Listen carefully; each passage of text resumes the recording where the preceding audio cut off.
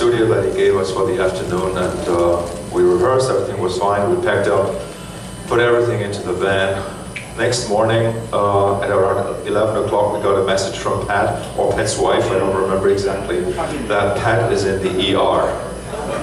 And that was a shock, obviously, already. But we're thinking, okay, yeah, maybe he's going to be, you know, available that night because that was the first show of the tour in, uh, in Minneapolis that night. And at 2 p.m., uh, we got the message that Pat is not going to come back that day. Uh, what do we do? And so we have this young gentleman here, Elvin Patrick McRae, who, believe it or not, is a roadie, and now our drummer.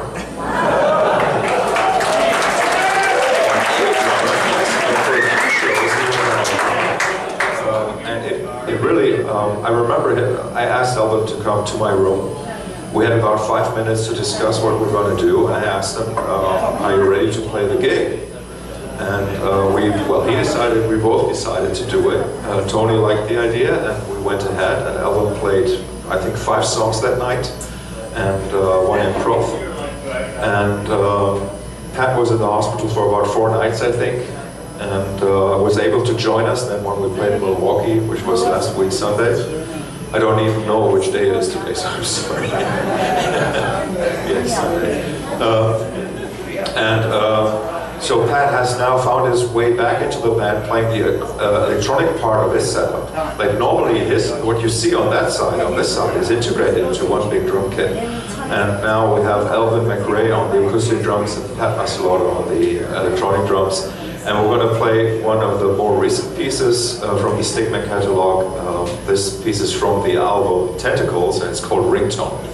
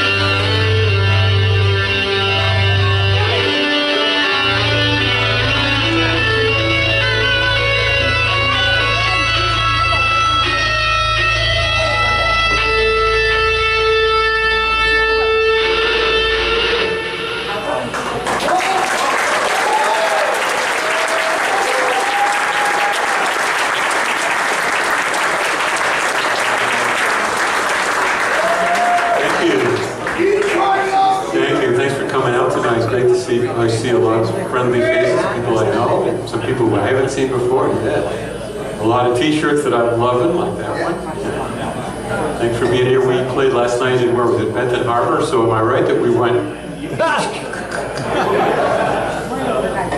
Yeah, and uh, uh, relatively easy day. We have some days on tour that are really long drives, really complex. But always great to be here in Detroit where I have a lot of friends. Uh, next on our set list is, uh, uh, oh, I should mention to you, we're going to talk a little bit more and a little bit the feel is a little bit more behind the scenes on this tour. It just wasn't a plan until Pat uh, wasn't at the first show, and it just kind of developed, and we kind of liked it that way. So we'll be telling a little, some stories. We'll even take some questions and answers later, whatever you want to ask about. And uh, I want to say, as a background to this next piece, in, in my history, way back in '76, I was called by luck to play on this guy, Young Guy's album, Peter Gabriel. I didn't know who he was. One of the guitar players. And geez, I'm still making music with both of them after quite a few years. So that's pretty great. And then Robert made a solo album and decided to ask me to, it wasn't a King Crimson album, it was a Robert Fripp album called Exposure, asking me to play bass bands play the music from that, but we uh, really enjoyed playing this piece. With the heavy lifting is up to Markus, and I did, I must admit, play bass guitar on the original album, but it's fun to play on stick. So here is Breathless.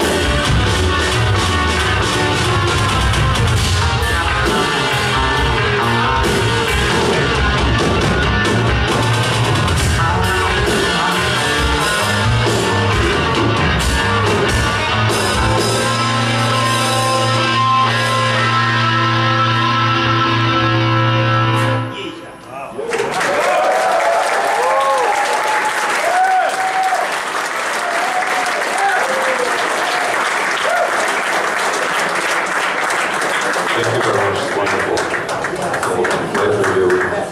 And you know, it's it's amazing. We have double drumming now. Like this is really, as you know, it's a rare thing to have two drummers on stage, and they're changing it up every night. So it's it's a surprise for Tony and I when they're doing that. I think it's really really, really enjoy it. Uh, there's so much, you know, even though these are fixed compositions, there's so much room for interpretation and improvisation, even in a part like that I'm there's there's you know there are fine details that you can change every night, and it's uh, thank you for being here so we can do this. Uh, yes, so, so I want to say something about the way that we uh, sort of have to handle the tours now. This wonderful lady there at the merch table, that's Deborah Mastelotto, that's Pat's wife. So it's just so funny, but the reason, one of the reasons why I her is that Pat and Deb, they share a bed, if you know what I mean right? So anyway, so the, as you know, like the costs have gone up so much for all of us these days, and with the touring, um, it's really it's really hard to to make that money back that we spent into putting these shows on the road, and that's why we have you know the merch. The merch is the one thing that if you want to support the band, you know, get something. And we have very special items. We have the T-shirts, which are unique for this tour. There's a short tour, only two weeks, 12 shows. And uh, also I had, um, I I maybe tell you a little bit of this backstory. There's a new EP with five live tracks, which I think is the best sounding Stick Men uh, live recording that we have. Um, the reason why that came about is that the festival where we played in um, Spoleto in Italy, it was a beautiful, beautiful theater. Last year, November, we played there. And um, the, the people, they had a great uh, filming team there. They filmed the whole show with like eight cameras or something, and they made a video and put it up on YouTube without telling us really. And I found it, and the video looked amazing, but the sound was horrible. Like we felt ashamed looking at it. So I said, okay, like I've got, to do something about it, and that's why I had these tracks mixed that you can find on the EP. The EP is called Swimming in Tea, and we have 300 copies of it. We have, uh, yeah, I mean, I would appreciate if you would buy it. If you want to get rid of those 300 copies. Uh, thank you so much. So a big part of Stick Men shows are improvisations. And now with this double uh, drumming setup, it's very exciting for us. That's also why I guess Pat will start, or the drummers will start. So it's uh, just enjoy. This is the Token Lounge improv.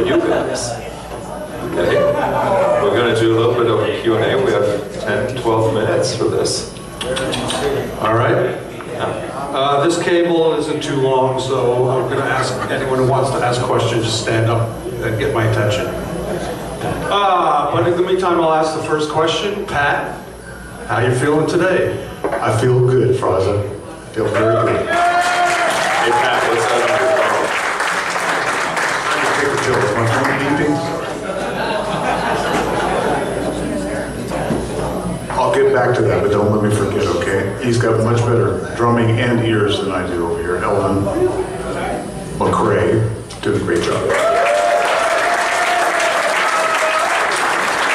Yeah, so I had a hard issue and I had some surgery about a week and a half ago and they let me out last Sunday. It was one week ago today that I was able to come and see these guys at Shank Hall in Milwaukee. And uh, was out there in the back as part of the audience. And then uh, a day or two later, I think it was, uh, we concocted this idea that maybe I can just add uh, some electronics and he doesn't have to worry about all those details. And uh, the main advice from the, from the surgeon in the hospital uh, is just not flap my arms around too much. So, and, my wife Deborah, the nurse that's doing merch, is uh, she's out of view right now, so maybe I'm flapping too much, but I'll slow down as the night goes. Okay.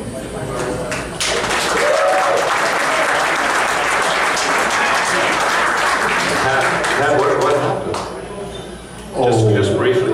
Well, I, I've been wearing a pacemaker since 2021, right in the middle of the Crimson Tour of 21. I had uh, an episode where I ended up on the floor of a shitty little uh, hotel in Kingston, the Super 8. And, uh, and then they put me on a stretcher, and I woke up in an ambulance, and uh, I was in the ER there, and then they star flight. It was a star flight to the Westchester Art Hospital. I spent a couple days there. They put a chip in me. They let me out, and I had a pacemaker. Everything's been cool for a year or two, and now I've got some kind of infection a few weeks ago, maybe a week and a half, 12 days ago. At first, we thought it was a spider bite. I live in Texas, so they thought it was a spider bite. So I kind of blew it off for uh, Saturday and Sunday, and Monday we went in to see the doctor who did some stuff we don't need to get into, put me on an antibiotic. I came up and played with these guys. Joined you on Tuesday and Wednesday we rehearsed. Thursday morning I got the call much before 11 and an email and a text and all that stuff. Uh, get to ER right away. Uh, it's the wrong antibiotic. And, uh, uh, then they transferred me to a heart hospital there. They thought they were going to take the pacemaker out. They did not. It did not penetrate the pacemaker sac. So all's good if I just don't flap around too much.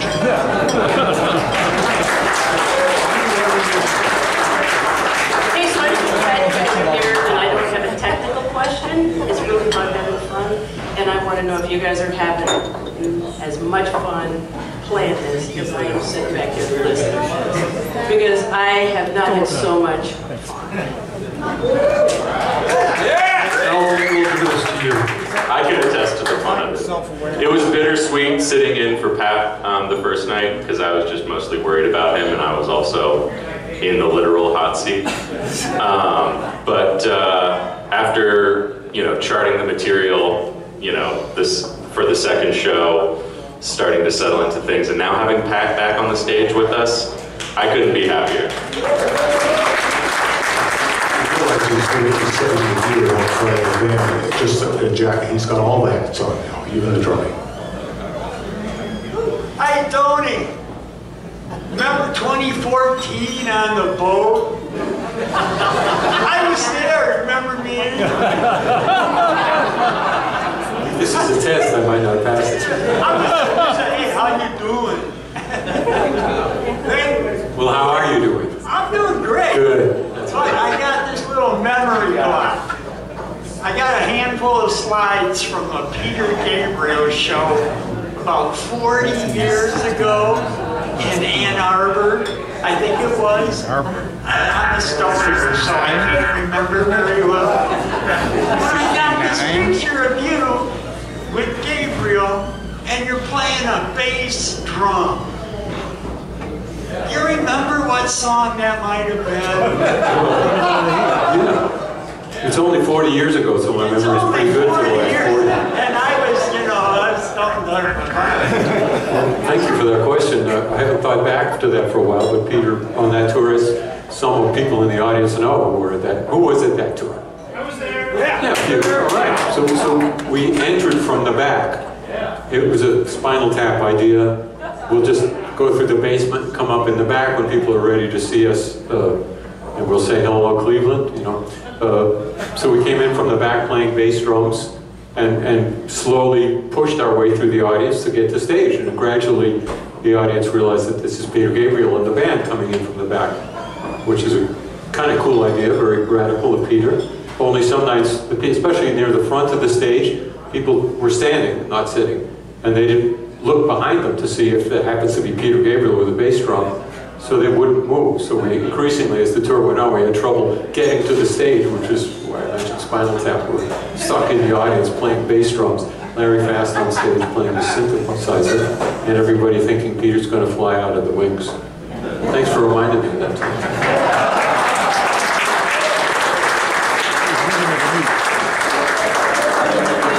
Uh, Hi, Mr. Lester. You know, I'm the jerk who interrupted you on your phone calls in the parking lot, but uh, I just wanted to say Pieces of the Sun. It's one of my favorite albums. I really enjoy it. I got to see you live. You played in Ferndale, Magic Bag here in Detroit. And Excellent, excellent, excellent show. Should we tell them about the dressing room at the, the Magic Bag? They probably don't know. Yes, but I have one more question. Okay, uh, I mean, there, there's a wonderful German word that is uh, Kotzpizza, which means uh, vomit pizza. and there used to be one on the ceiling at the Magic Bag. And what's kind of unique is that ceiling is about 20 feet up there, so we always go in there wondering, how did, how did they get that up there? So my question for uh, Mr. Levin, um, basically the liquid tension experiment sessions, one, two, and three.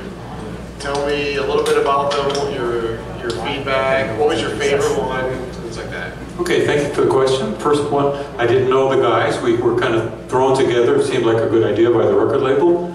We wrote this, that kind of collaboration. You write it and record it in a week. So it was quick, and I was amazed at the uh, the virtuosity of the other guys and the way they could remember a song, or a riff. The other one guy would play a riff, the other guy would remember it right away. So I was lagging behind. Uh, in my youth, it seems like I was the guy the quickest to learn things. But in that band, I am always the slowest, and they kindly wait for the, the old guy to, to figure out the part. Uh, the second and third album were the same. The last album we did was uh, during the COVID lockdown, so it was a little risky. We formed a bubble and did that. And again, uh, I, I can't state it enough. Like, let's say John Petrucci would say, let's start the song like this, and go super fast. And, and Jordan Rudess would say, like this? Okay, it. And I would be, can you show me the first four notes of that? And I would just start to learn it, and I got my pen out to write it on music paper. And, and, and then Mike Portnoy, said, well, what if we then do this? And within 15, 20 minutes, it's a 10 minute long piece. I still got the pencil in my hands. I haven't played any of these riffs because I'm not that fast at learning them. So they're amazing, virtuosic at uh, learning things pretty quick and you remember them too. Thanks for reminding me about that. Yeah. I, uh, this question's for Markus, it's a kind of a double, two question part. Um, I'm a big fan of your ambient stuff, your uh, solo projects. Uh, I was curious if you write all of that on your guitar and also uh, if you have any tips for writing any music. Uh, yes, I mean the ambient music I I usually just play it on the guitar with like like I did this opening piece, opening piece, right? I have a laptop which I use as a recorder. So I play something and I can record it, I can manipulate it, can slow it down, I can speed it up, and uh, yeah, the, the like really the question about like how do you compose like that because I don't consider these pieces to be improvisations. Uh, basically, I'm, I'm keeping track of the notes that I played. And you can think of music as, you know, like, like as a line. you know, a line of sound, but you can also collapse that sound into like into one chord, into a sound that exists like this rather than this, right? Everything at the same time. And I keep track of what I'm playing, I keep track of where the gaps are, both between the notes and also in time. And that's how I'm filling in the spaces and that's, that's how the compositions come about. And that would also be my recommendation if you want to do something, like learn to memorize what you played.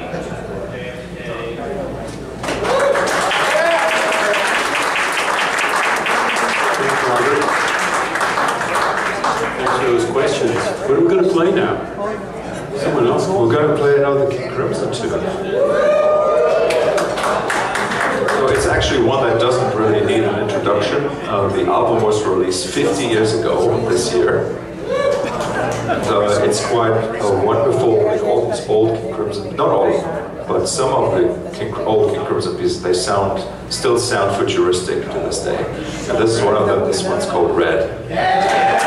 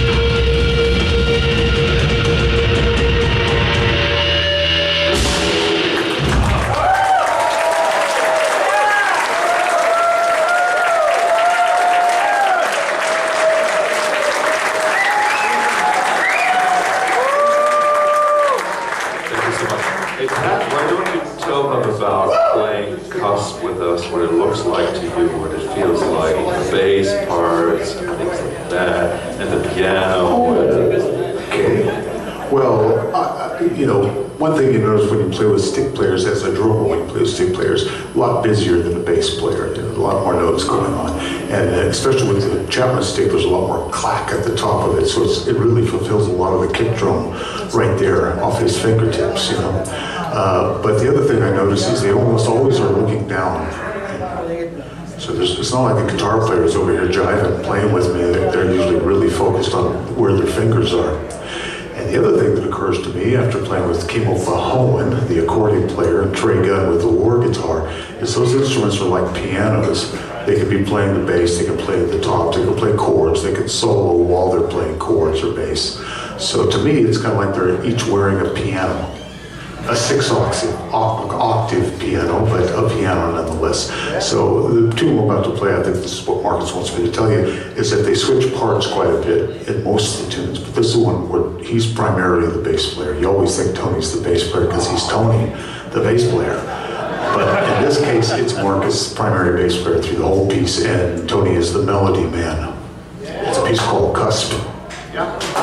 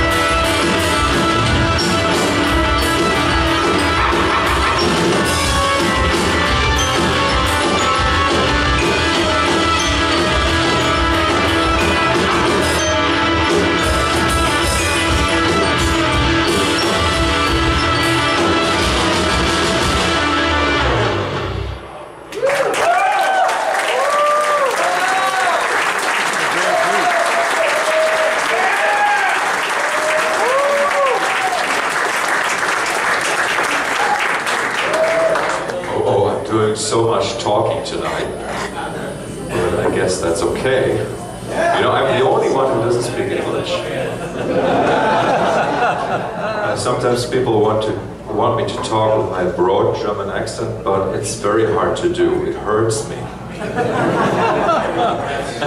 As it would you, I guess. Anyway, so this, this piece we're going to play now is, is very old. It's one of my pieces that I wrote when I was a teenager, before I was even considering to be a performer, before I was really playing a musical instrument. I was writing music. And um, yeah, that was the time when I, when I for sure couldn't speak English. but anyway, it has an English, it has an English title now. It's called Swimming in Tea. And Swimming in Tea is also the title of that EP I mentioned, because we have a beautiful version of this piece on EP, yes.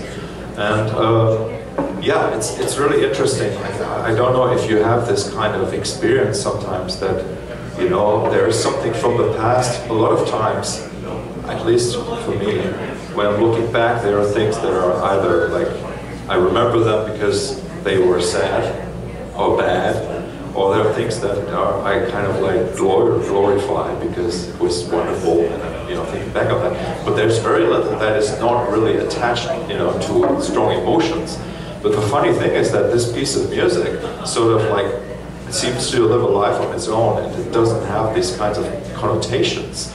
Even now, since I brought this into the band, know, five years ago, like every night that we play, it feels fresh, it feels new, and it's uh, something beautiful, and I'm grateful that we're playing this piece together. It's called Swimming in Tea. Here we go.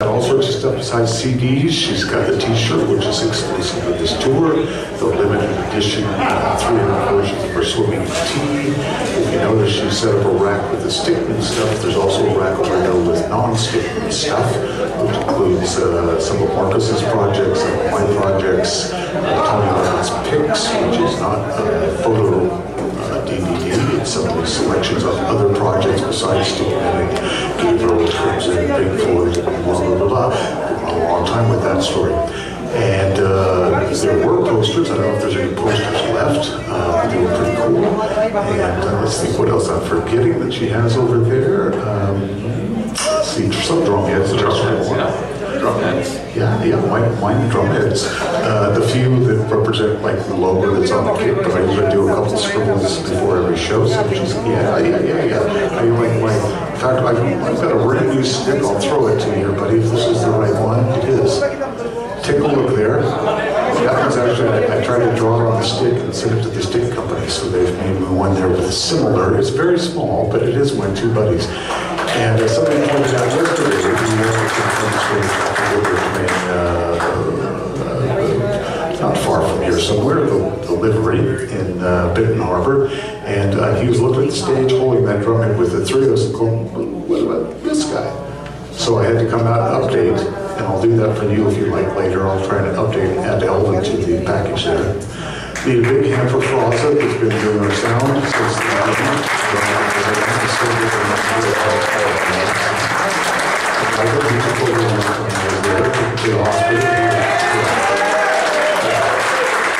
It's not only good, there's a lot of it, especially, a lot of little quirky things, in in big corners where you don't expect them.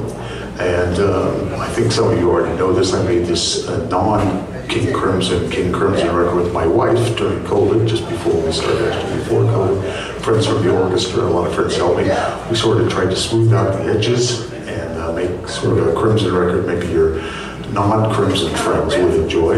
So it's uh, the softer side of Crim, and that's sort of my segue to the piece we're about to play. It's off the Discipline record, something of the softer side of Crim. Thank you all very